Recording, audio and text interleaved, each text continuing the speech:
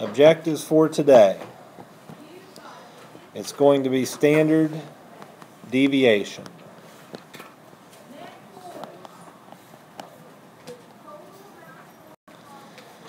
And you must know how to add a list of numbers, find the average, divide by the number of numbers, and also be able to find a square root. Here's an example. First of all, standard deviation, here's what you're finding. This is a bell curve, and standard deviations, that's a zero standard deviation. And you usually have three on the right that are positive, and then three on the left that are negative. A standard deviation of 1. The distance from here to there is 1, and from here to there is 2. You're going to be given a list of numbers, and when you find the standard deviation, you're going to find out how far it deviates from the mean. So with that standard deviation, you would start here and you would add it each time to come up with the real numbers that fall underneath that. For, ex for example, let's say you had a list of numbers and the average was 10. We'll say the list of numbers has an average of 10 where that average would go is right there in the middle. Even though your standard deviations are 0, 1, 2, and 3, like that, and then negative 1, negative 2, and negative 3, like that. If your average is 10, it falls underneath the 0. This is standard deviation, but this is the real list of numbers you have. So if your list gives you 10, and you calculate, which is what we're going to do, the standard deviation, if you get a standard deviation of 3, then what you would do is go down and start with the mean and add 3 as you go to the right. So if I add 3 to 10, I get 13. If I add 3 again, I get 16. Add 3 again, it's 19. But what do I do if I go to the left? subtract. So I would have a 7, and then a 4, and then a 1. The standard deviation is what you're going to calculate today. This stuff is going to wait until tomorrow, maybe the day after. But just for today, you're going to calculate using a formula, standard deviation, and then you're going to use it for this stuff here later on. This is to let you know what exactly it is that you're going to be doing. Okay. Here's an example of the standard deviation formula. Here's a list of numbers, and we'll keep the list small. Uh, 2, 3, and 9. We'll only have three numbers. The first thing you have to do for standard deviation is to find the average. So add these up. 2 and 3 is 5, plus 9 is 14. Average can be noted as X bar. Instead of writing AVG, just write X bar. The average is, or the sum is 14, and we divide by what? 3, yeah. So divide by 3 and round to the tenth place. 14 divided by 3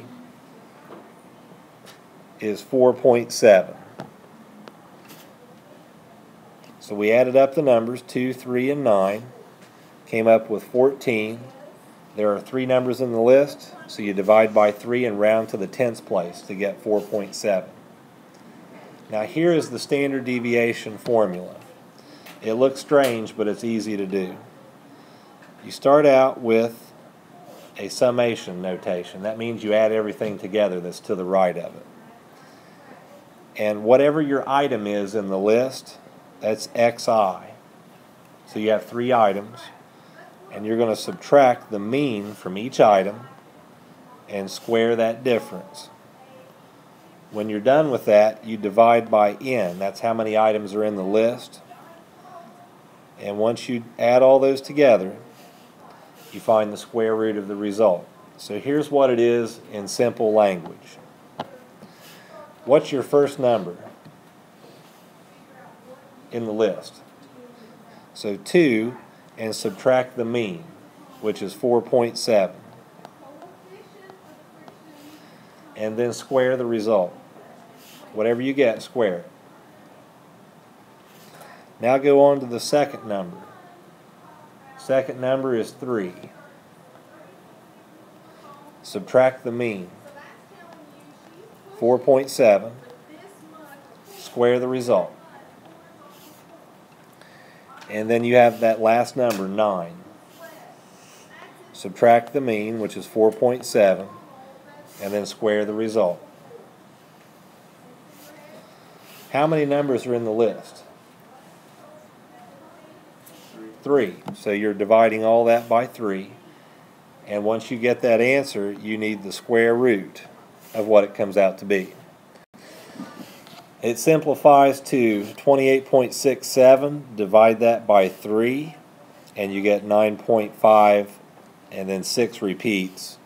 Find the square root, and the standard deviation should be 3.1. In this list, we'll have 6, 5, and 2. We need to find the standard deviation. First thing is to find the average. So 6, 11, 13 is the sum, and divide that by 3. Round it to the tenths place. What is the average? Average is 4.3. So what we need to do is 6, the first item from the list, minus 4.3, square the result. And then 5 minus 4.3, square the result. And 2 minus 4.3, square the result. We have three numbers in the list, so we're dividing by 3. And then at the end, we'll find the square root of everything. The top part comes down to be 8.67. Divide that by 3 to get 2.89.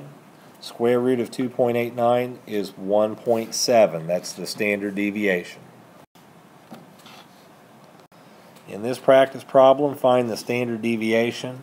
The numbers are 4, 8, and 6. Find the standard deviation. And first we have to add them up. That's going to be 4, 12, and then 18. Divided by 3 is going to give us an average of 6. So we need 4 minus 6, square the result, and 8 minus 6, square the result, 6 minus 6, square the result, divide everything by 3, and then find the square root. Now each one of these in here, I'll put these in green, you're going to have a negative 2 squared, that's 4. And then 2 squared is 4. 0 squared is 0. So 4 plus 4 is 8. We will have 8 divided by 3 and then need a square root.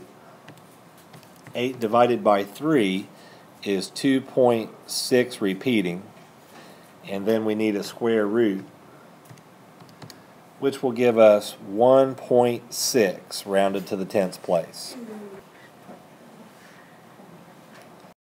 This practice problem will have numbers of 7, 3, and 5.